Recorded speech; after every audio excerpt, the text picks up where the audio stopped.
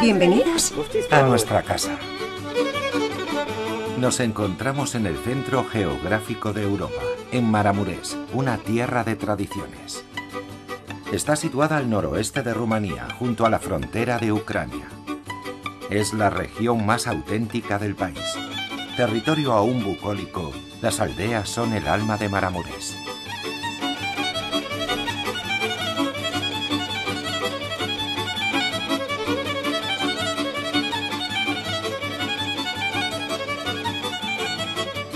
Las condiciones de vida aquí son duras, pero la población ha conservado sus tradiciones festivas, su música local y sus creencias ancestrales.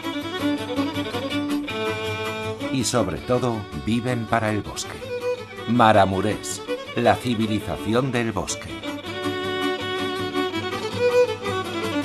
Los bosques ocupan casi la mitad de la región la madera está en todas partes, de la iglesia a la casa, de la cruz hasta el imponente pórtico. En las profundidades de sus valles se ocultan tesoros desconocidos. Aquí la calidez de la madera rivaliza con la simpatía y la hospitalidad. En Maramures, la madera es el material principal en la vivienda tradicional. Muy abundante, es un material que se utiliza desde la noche de los tiempos, roble, haya y abeto. El bosque cubre el 45% del territorio, pero a comienzos del siglo XX ocupaba el 90%. Las casas son de madera desde el suelo hasta el techo y están cubiertas por millares de tablillas.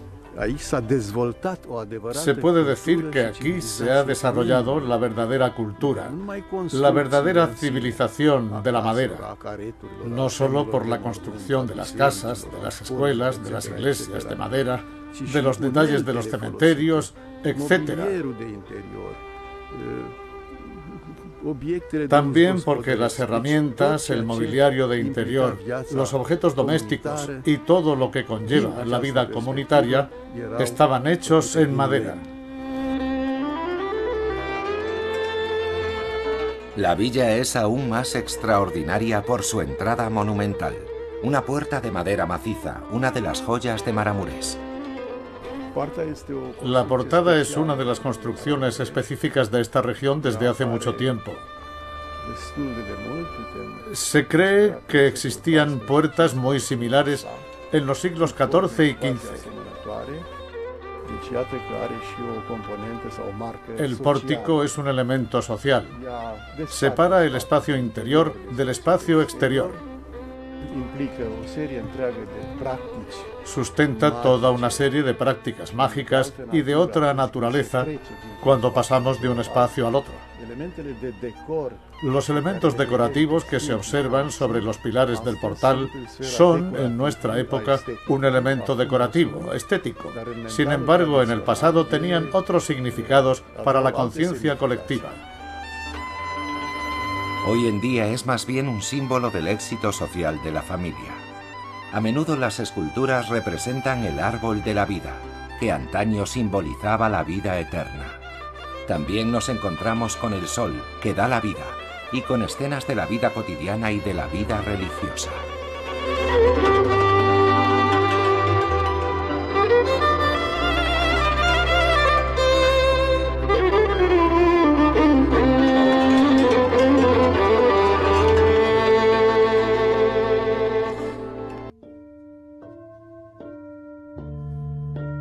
La madera forma parte del esplendor de los monasterios, iglesias y capillas, engalanadas desde el suelo hasta la punta de sus agujas, que a veces alcanzan los 75 metros de altura.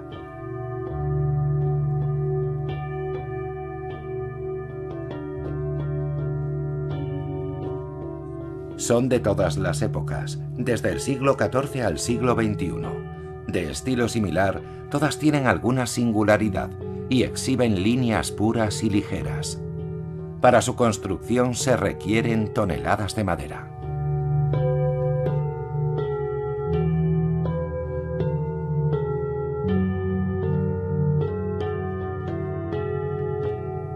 Los clavos brillan por su ausencia. Las vigas están encastradas siguiendo una sabia geometría que excluye cualquier imperfección. Decenas de miles de tejas cubren los tejados, obras maestras totalmente artesanales.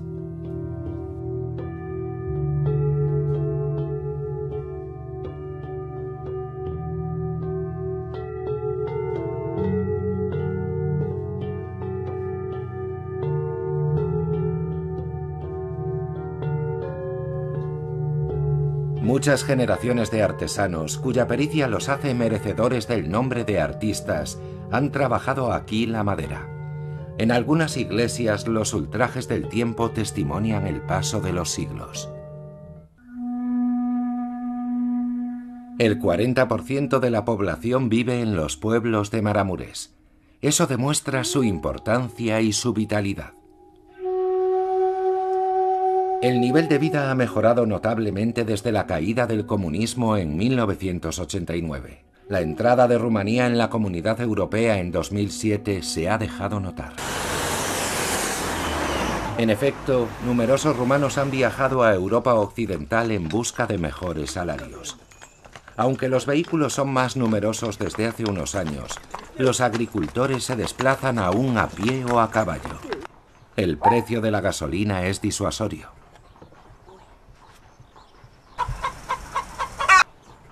La mayoría de las familias crían algunos animales, dos o tres vacas, algunos cerdos, corderos y pollos, solo para asegurar su autosuficiencia.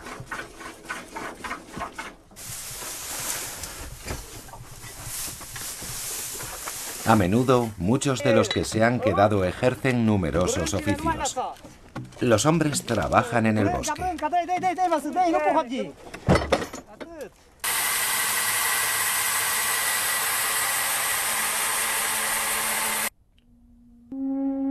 Las mujeres practican el arte textil.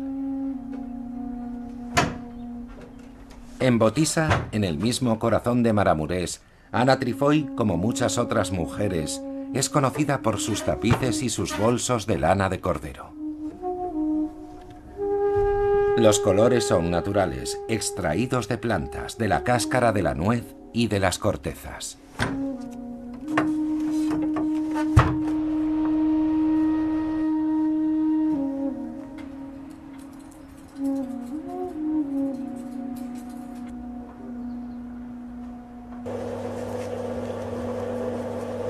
En otoño se destila la tuica, un aguardiente de ciruelas o de manzana muy apreciado en Rumanía.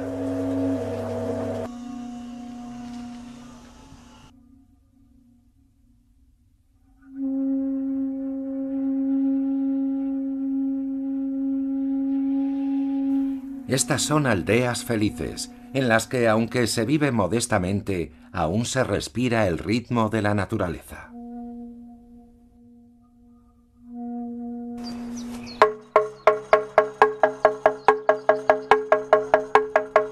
En algunos pueblos pequeños se sigue celebrando misa en iglesias muy antiguas, como esta de Sirvi, que lleva viendo desfilar a sus fieles desde el siglo XVI. En las fiestas religiosas aún se sigue utilizando el traje tradicional, el clop, un sombrero de paja a los hombres y delicados encajes las mujeres.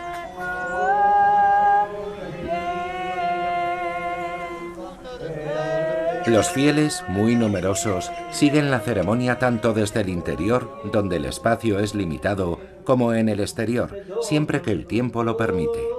La mayoría de las iglesias son ortodoxas y siguen el rito griego, pero la fe católica va recuperando terreno desde la caída del comunismo en 1989. Anteriormente estaba prohibida por ley.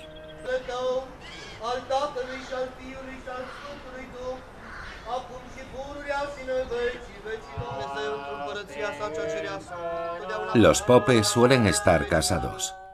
Los campesinos los respetan profundamente. Toda la población es muy generosa con la iglesia.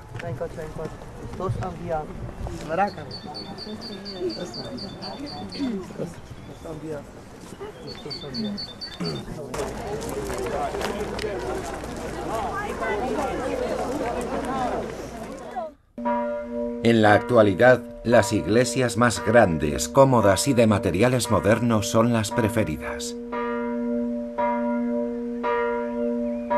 La guerra de los campanarios es muy desigual.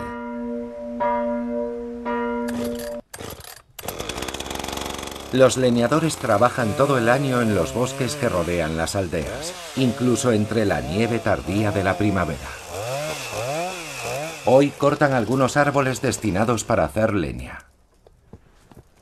En las aldeas se cocina con gas, pero se calienta la casa con grandes estufas de cerámica. Utilizar leña es más económico.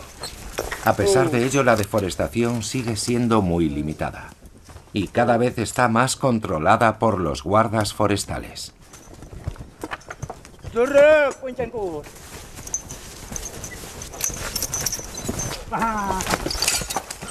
Hold my hole! Take it to a day, John.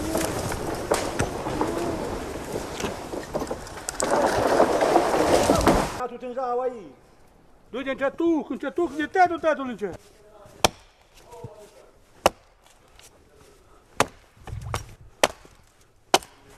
Dă înapoi, truca. Uh. Aunque a menudo utilizan tractores, los caballos son ideales para trabajar en terrenos accidentados.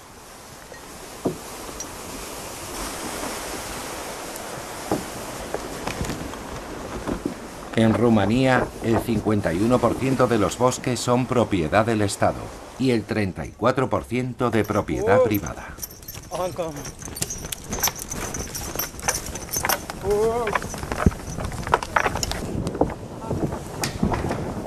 Este no es un trabajo a tiempo completo. Los campesinos trabajan ocasionalmente de leñadores.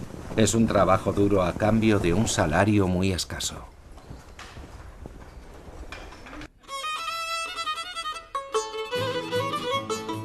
La primavera se ha adelantado este año. Su llegada viene acompañada por una sinfonía de colores que ningún pintor sería capaz de representar.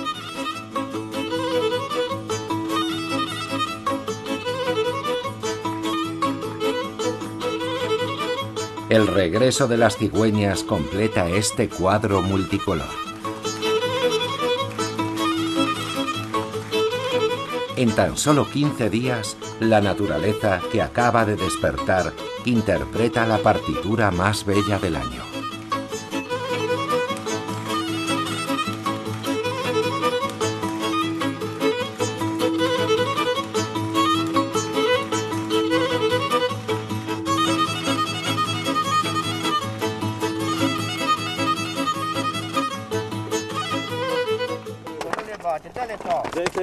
En Maramurés, el caballo es el mejor amigo y el servidor más fiel del hombre. Es con diferencia el animal más utilizado para las labores agrícolas. Desde la llegada de la primavera, las recuas peinan los campos.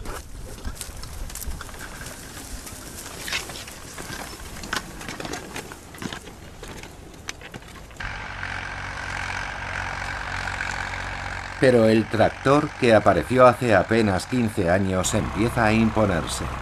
Sigue siendo un lujo para la mayoría de los agricultores, aunque esté fabricado en China. A menudo se lo pueden permitir gracias al dinero enviado por los expatriados. De momento el trabajo manual y el mecánico siguen conviviendo.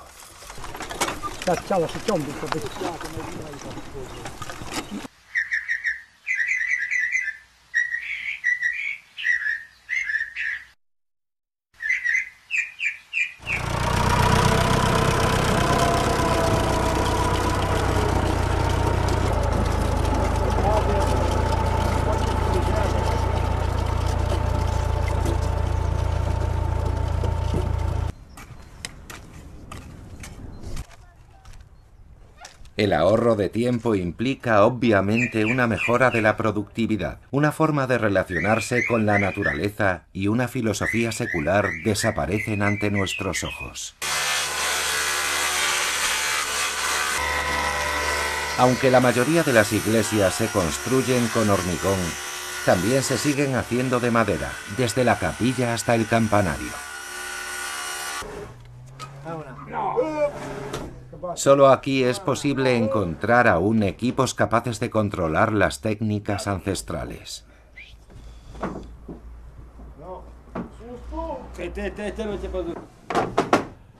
A menudo construyen edificios que después serán desmontados y exportados a toda Rumanía e incluso a la otra punta de Europa. A pesar de que los tesoros de Maramures apenas atraen a turistas extranjeros, su arte sí se exporta muy bien.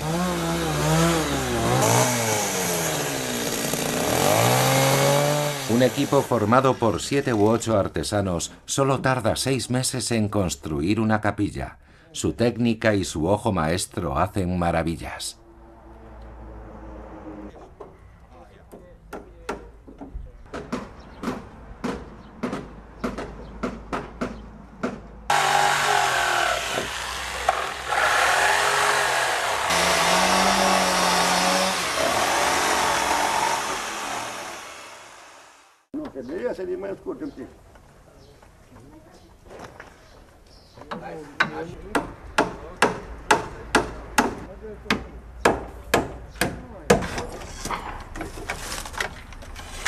Las iglesias se coronan con finas tejas de madera, centenares, millares, decenas de millares de tejas. Se tallan a mano, una a una, con paciencia, sin reparar en el tiempo. Un trabajo de rumano.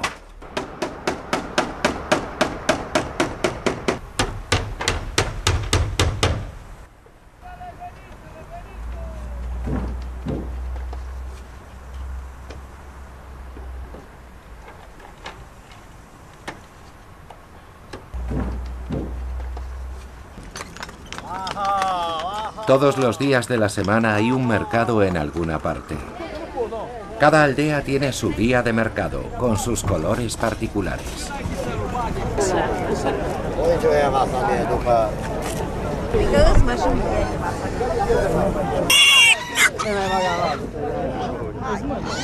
Aunque tampoco faltan productos llegados desde muy lejos, aquí se venden fundamentalmente productos locales y de la artesanía regional. Los mercados semanales animan la vida de las aldeas y son auténticos acontecimientos comerciales y sociales. En ellos se negocia con dureza. El presupuesto es muy limitado. Todos esperan comprar o vender al mejor precio. Y siempre lo más esencial, rara vez algo superfluo.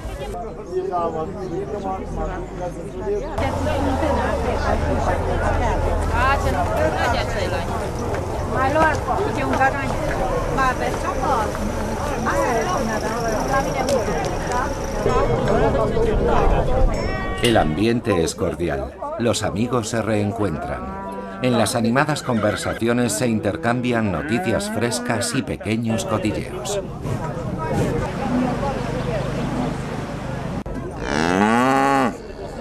A menudo los hombres conversan alrededor de un vaso de tuica, el aguardiente de ciruela o de manzana tan apreciado en Maramores.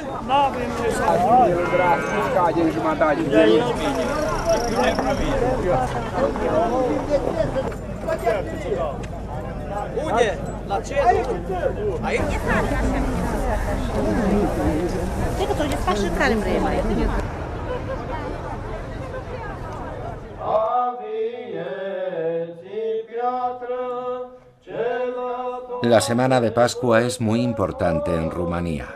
Las iglesias, tanto la ortodoxa como la católica, siempre están llenas. El ayuno puede durar varios días. El viernes, los fieles se visten de negro por la crucifixión de Cristo.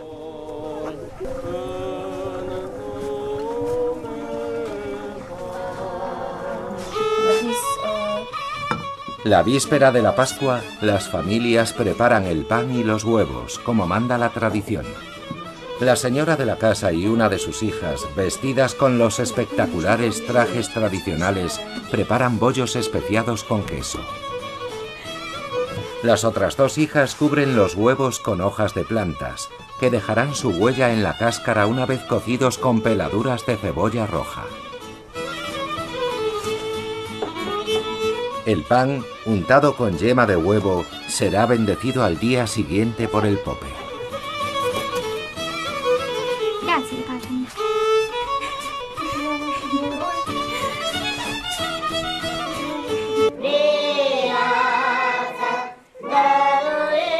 Es el día de Pascua en Botisa. A medianoche se celebra la resurrección de Cristo.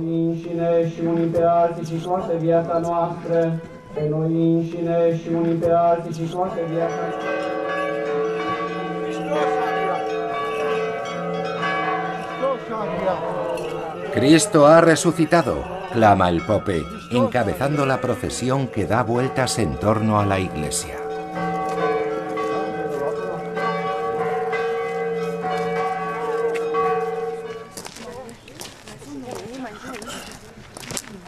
A las 7 de la mañana los vecinos se reúnen de nuevo. La temperatura es muy fresca para la estación. La ceremonia se celebra en una pradera en el interior del cementerio. Se forma un inmenso círculo para expresar el fervor colectivo que une a toda la población.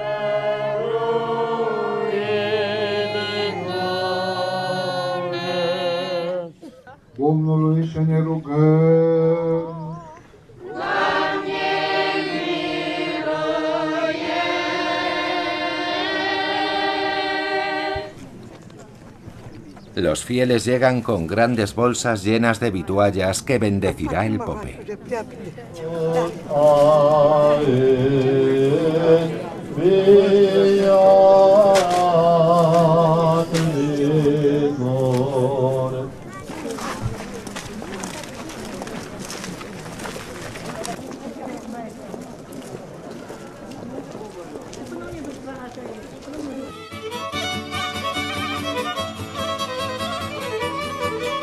En la región de Maramurés se consume madera en grandes cantidades, pero la materia prima es abundante.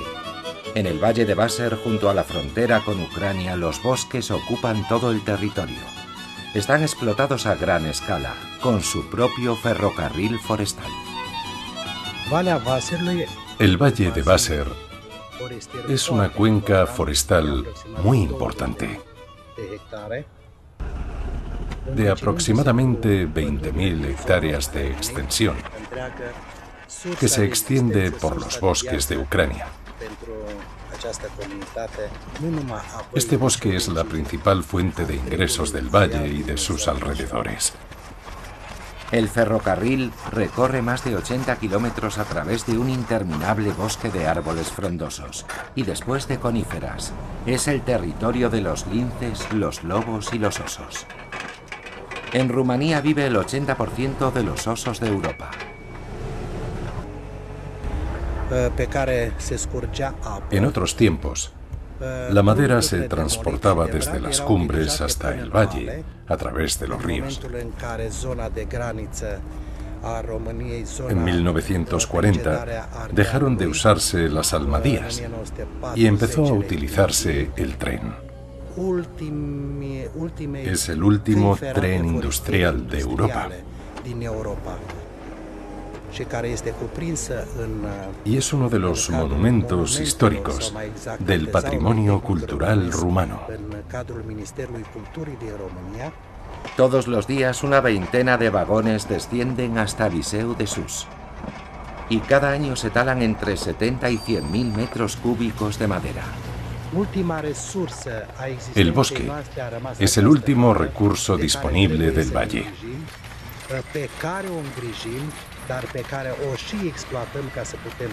Intentamos protegerlo, pero también lo explotamos para así poder vivir. Constantemente buscamos un punto de equilibrio entre la tala de la madera y la reforestación para que las generaciones futuras puedan seguir beneficiándose del bosque.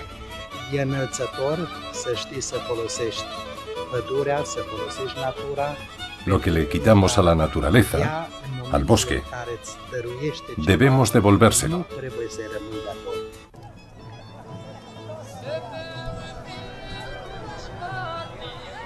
Durante la Pascua, cuando llega la primavera, las fiestas se multiplican por todo Maramurés.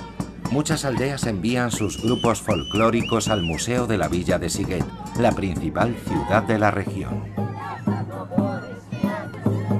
En todas las grandes ocasiones, los habitantes visten el espléndido traje de fiesta, que atrae a visitantes de todo el país.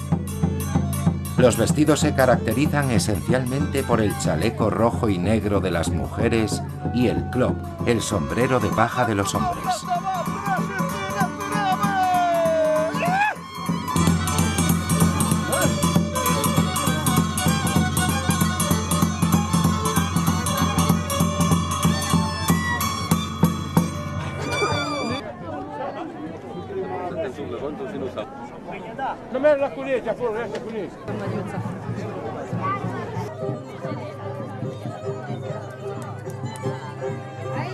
También se prepara el famoso sarmalé, plato hecho de arroz y de carne y envuelto en hojas de col. Es un plato muy demandado.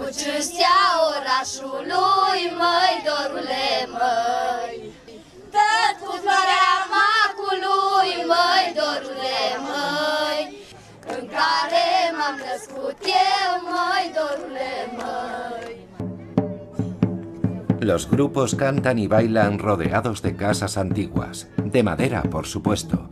Fueron construidas entre el siglo XVI y el XIX y son conservadas en este museo al aire libre. Es un escenario excepcional.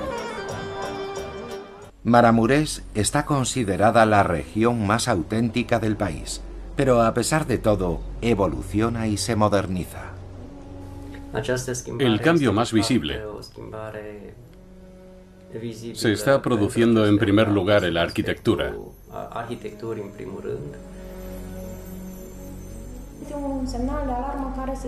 Desde 2007 hemos dado la señal de alarma debido al ritmo al que la arquitectura tradicional de Maramurés estaba desapareciendo. Y también debido a la forma en la que se importa la arquitectura de otras ciudades y de otras regiones. Se puede decir que es un testimonio de la pérdida de ciertos valores culturales, por ejemplo, la arquitectura de madera. Todas esas casas desaparecen poco a poco, porque los nuevos propietarios consideran esas construcciones demasiado viejas y sin ninguna utilidad.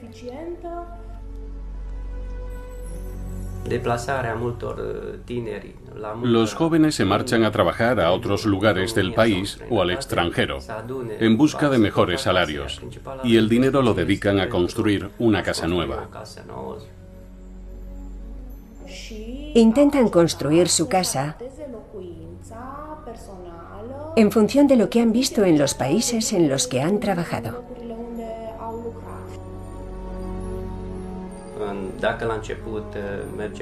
Los emigrantes que han trabajado en el extranjero vuelven con nuevas tradiciones y las introducen en Maramurés.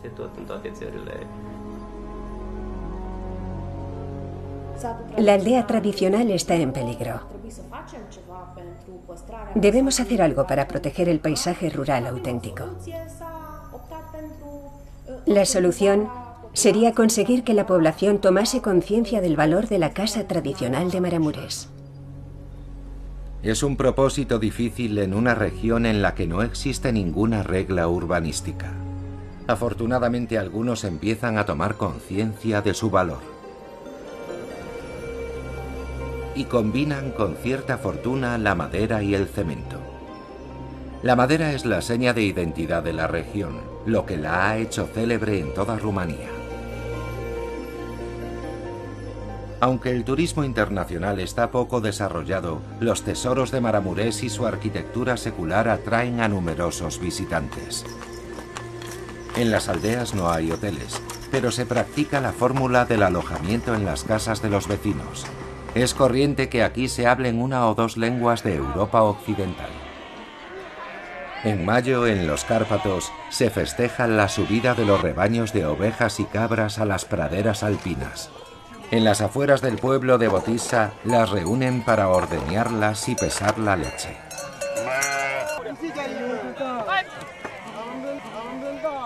Se trata de una fiesta popular que sirve para reforzar los lazos de la población, porque todas las familias tienen algún animal.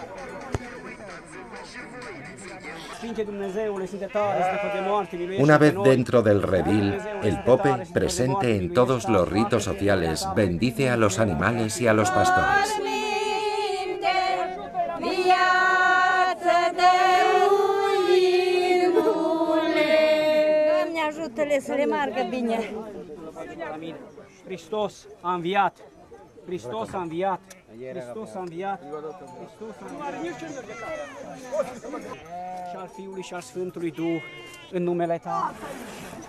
El ritual tiene una gran trascendencia. La cantidad de queso que conseguirá cada ganadero al final de la estación dependerá de la cantidad de leche extraída.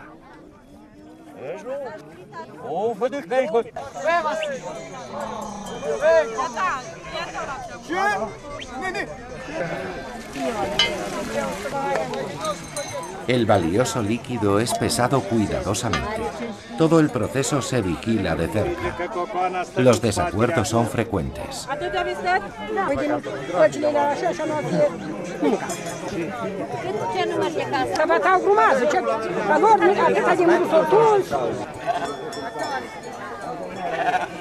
Las mujeres tienen prohibido entrar en el redil. Según la tradición, si lo hicieran provocarían que la oveja se secase.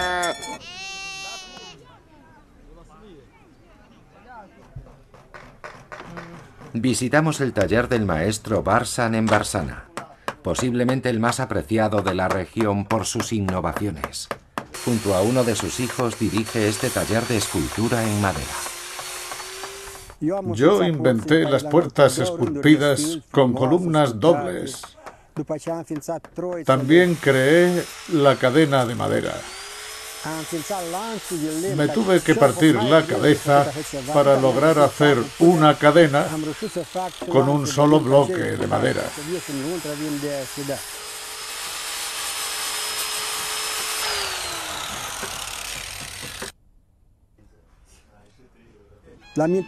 Aquí vienen visitantes de todo el mundo. Me han invitado varias veces para hacer demostraciones a Francia, a Italia. Estuve en Estados Unidos en 1999 en el Congreso, en Washington. Ya tiene 70 años y 52 de oficio a sus espaldas. Ha perdido la cuenta de las puertas, cruces y otras esculturas religiosas que están diseminadas por todo el país y por el extranjero.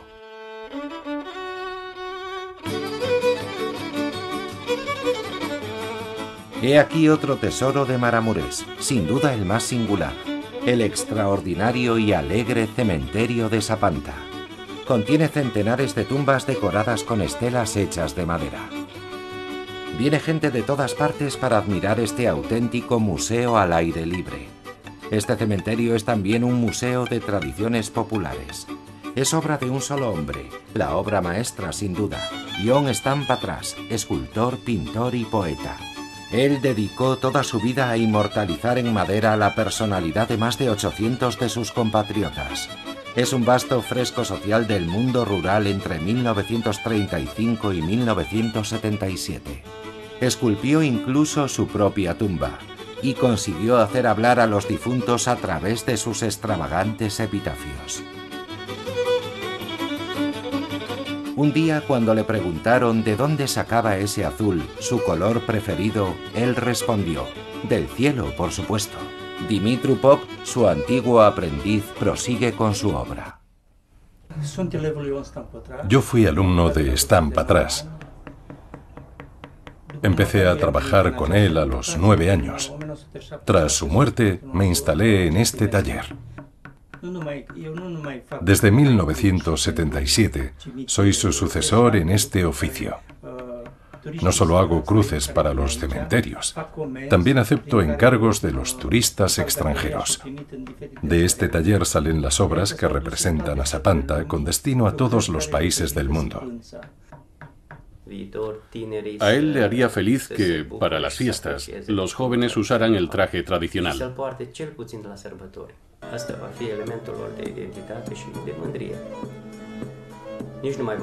porque su identidad es un motivo de orgullo. El vestido tradicional da una prestancia diferente, otorga dignidad. En algunas aldeas aún sigue usándose. En verano las fiestas folclóricas se multiplican por toda la región, tanto las organizadas como las espontáneas.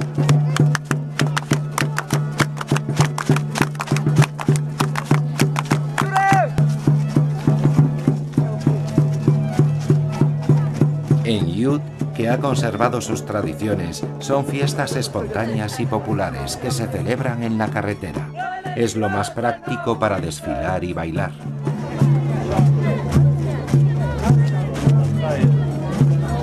Incluso los espectadores visten este traje ancestral.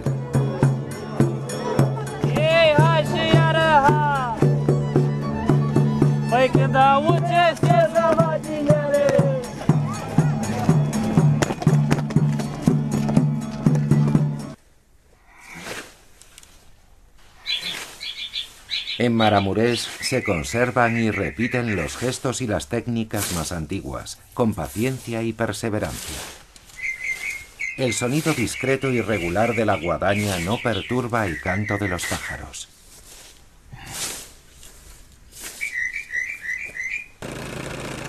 Pero desde hace algunos años, nuevos sonidos rompen el silencio de los campos. La mecanización se impone con gran rapidez.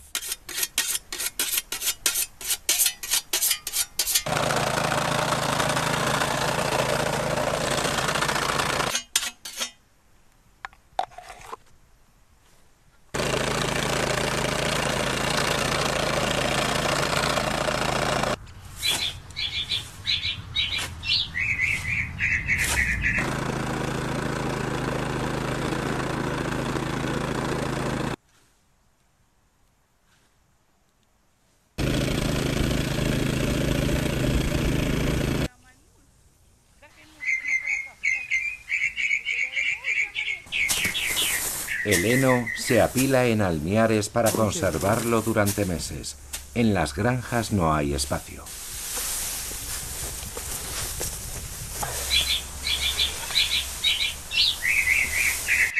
El paisaje aún no ha perdido su encanto. En invierno regresamos a los Cárpatos de Maramures. Habitualmente aquí hace mucho frío a pesar de su escasa altitud, entre 500 y 600 metros. El clima continental se impone. De momento el tiempo está siendo benigno. Antes de Navidad se sacrifica el cerdo que se ha cebado durante todo un año. Cada familia tiene el suyo. No, María. No.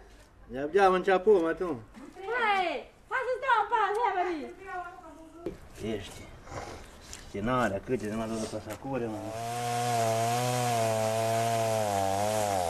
También se corta y se almacena la leña que se consumirá en la chimenea durante el invierno.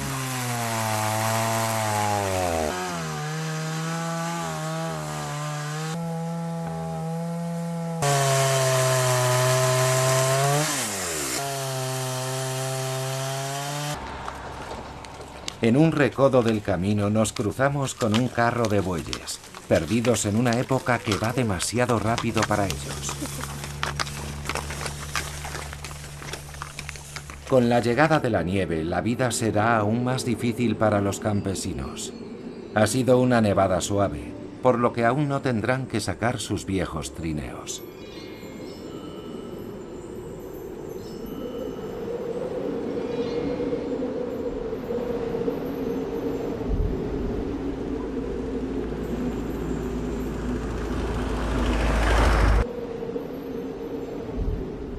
A pesar de la nieve, los trabajos prosiguen en invierno. Hay que ir a buscar el heno a las colinas, donde se conserva desde el verano.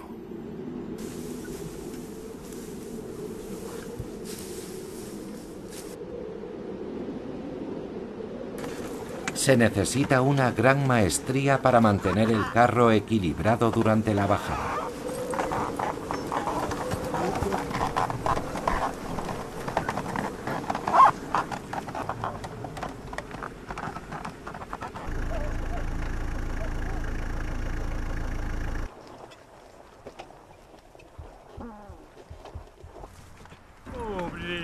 Esta es también la estación en la que se abonan los campos. En Maramurés prefieren el abono natural.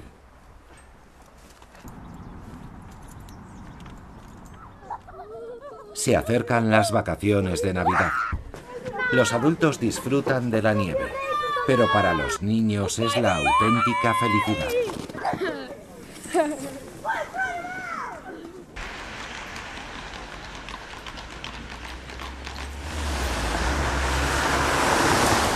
Tanto en invierno como en verano, incluso bajo la nieve, acuden a los mercados que animan la vida cotidiana.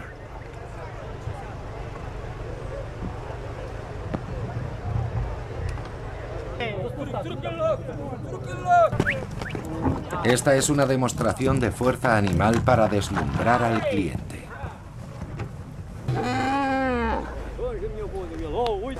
Algunos vienen a equiparse para la nieve de la cabeza a los pies.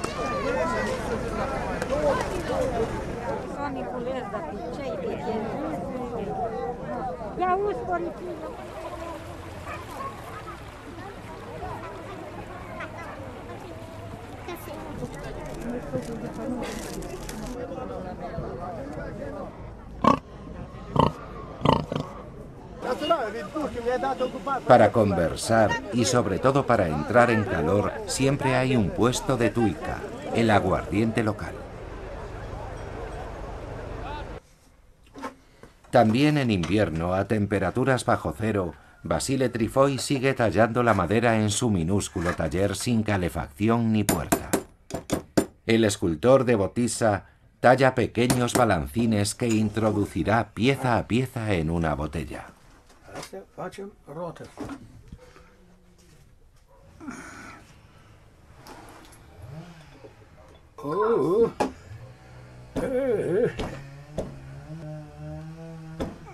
Lo más complicado es montarlos con ayuda de una larga varilla metálica. Un trabajo laborioso que requiere mucha paciencia y habilidad. Es un ejemplo más de la pericia de las gentes de Maramures.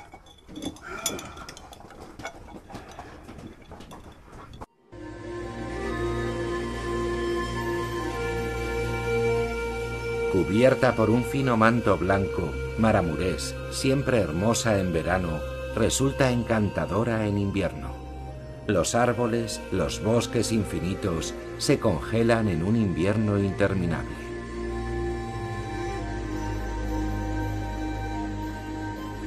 Los osos pasan muchos meses en estado de hibernación. La vida continúa a cámara lenta.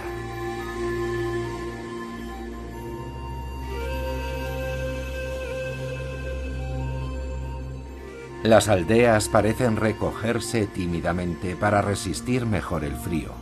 Las temperaturas pueden descender hasta los 20 o 25 grados bajo cero.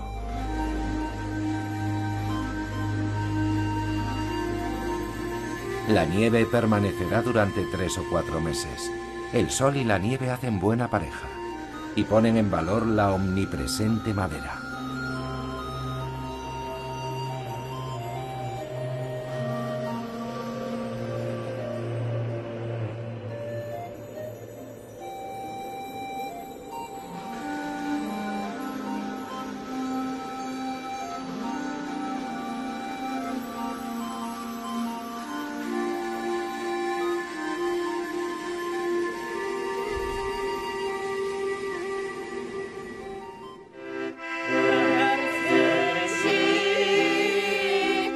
Llega la Nochebuena. En todas las aldeas, los niños y los adultos van de casa en casa cantando villancicos que anuncian el nacimiento de Cristo.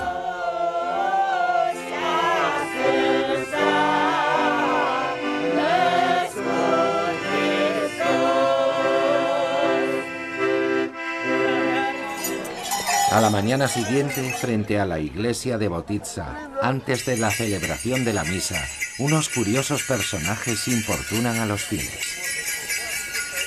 Representan la Natividad de Cristo. Son los actores de Biflén, diablos cubiertos de campanillas que tratan de impedir a los fieles y a los ángeles que llevan el pesebre el acceso a la iglesia.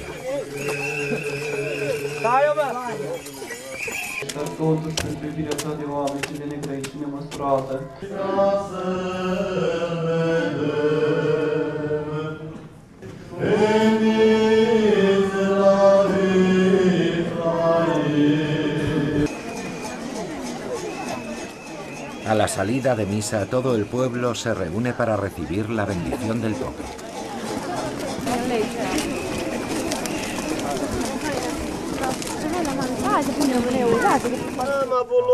Por la tarde un grupo de jóvenes representa la Natividad de Cristo.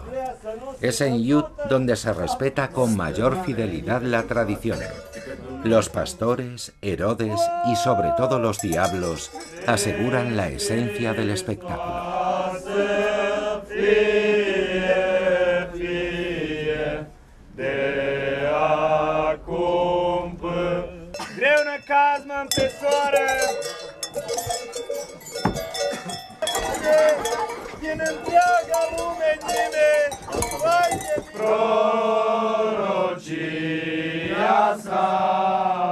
Entre la Navidad y el Año Nuevo se celebra en Siguet el Festival de las Tradiciones de Invierno. Siempre muy animado, esta es su cuadragésimo sexta edición. Es la fiesta más importante del año en la región y todas las aldeas envían delegaciones. Los festivales y otros acontecimientos etnográficos son muy apreciados por la población y por los turistas.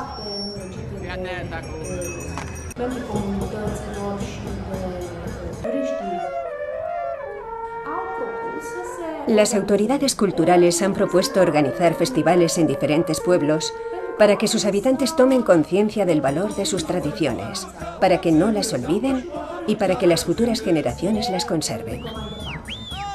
Fue así como nació el Festival de Marmatia.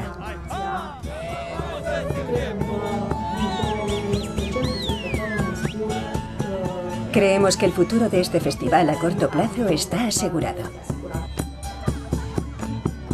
En efecto, los visitantes se agolpan para ver pasar los grupos y los carros. El festival supera el ámbito local, porque siempre se invita a grupos que llegan de la vecina Bucovina.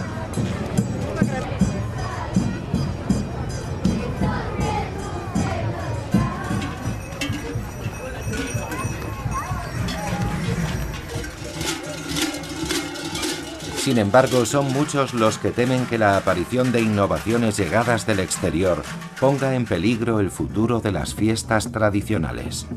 Por el momento este festival sigue siendo un motivo de cohesión social. En él se muestra lo mejor que tiene cada aldea. Es una demostración de su identidad que los llena de orgullo.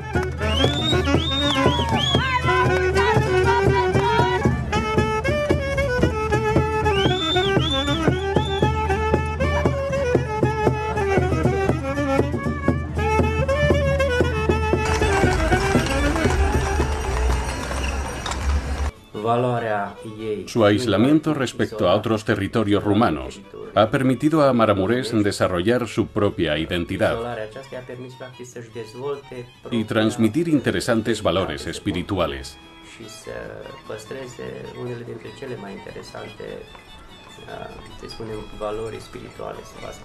Eso le ha permitido conservar sus peculiaridades etnográficas, musicales y su arquitectura tradicional. Maramurés, el país de la civilización de la madera, se merece sin duda su reputación de tierra de tradiciones. Admirado por los romanos, merece la pena que sea conocido también fuera de sus fronteras.